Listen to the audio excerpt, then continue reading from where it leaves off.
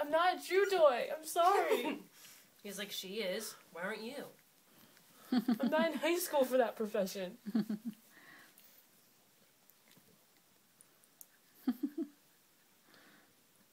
Yeah, he wasn't shivering in the car, but it's because there was no dog to worry about. I don't know, that is weird. Bandit. I'm gonna look that up. Go Google it. Why is my dog drooling when he sees a new puppy?